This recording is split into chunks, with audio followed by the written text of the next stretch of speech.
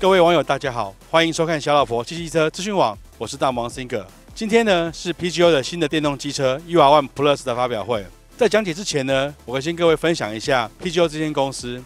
我想很多人会觉得说很奇怪，为什么 PGO 的很多车款呢都跟意大利的 Vespa 这么像哦？其实要说到他们家的历史，早在一九七二年的时候呢，PGO 这间公司就跟意大利的 Piaggio 公司呢进行合作，帮他生产他们家的车款。所以 PGO 这个公司的血统里面，其实就带有一部分意大利的味道在里面。所以你会发现说，它推出了很多车款，比如说像 J 布布啦，哈，像 UR One 啊，哈，都是有那种古典风格的车子，而且跟我们一般看到的古典风格其实有点不一样。好，那我们来说 UR One Plus，它这台车什么地方不一样？哈，首先呢，UR One Plus 这台车的外形跟颜色哦，是致敬冷曼二十四小时，也就是我们常说的利曼二十四小时耐力赛的配色哦。所以它的这个蓝色叫做九一七蓝，哦，还有另外一个配色呢是黑橘的部分。那发表会的时候，他们也提到说，哈，为了致敬那种所谓非常具有纪念价值、非常高难度、必须连续跑二十四小时的比赛，哈，对于车种、对于车手来说都是很严苛的考验。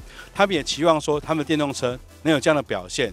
那所以在 UR Plus 上面呢，到底改了什么地方？什么地方不一样？我们来跟各位分析。好，首先呢，动力部分它采用了 Gogoro S2 的马达。所以动力部分哈是七点六 k 瓦，加速部分零到五十公里只有三点九秒，哦，相当的快速，跟 UR One 相比哈，动力部分提升不少。那除了动力之外呢，哈，避震器的部分也不一样。这次它后避震采用了无段的预载可调，加上阻尼可调的避震器，哈，好，虽然阻尼部分呢只有深侧可调，我觉得没有所谓的升压可调，有点可惜哦。那另外除了这两个之外呢，哈，在外形的部分，除了它的配色不同之外，它的方向灯也做了熏黑处理。仪表板呢，本来是黑底白字哈，后来他们发现说，这个状况下在一般大太阳下有可能比辨识度会稍微比较不够清楚，所以在 U1 Plus 上面呢，它也对仪表板做了改变，现在改成白底黑字哈，这种方式呢，可以让液晶仪表在白天的状况下也可以非常清楚。另外呢，今天我们本来是要试乘的哦，不过碍于天后的关系哈，今天雨有点大，所以我们决定呢，啊，今天我们就暂时不试乘了，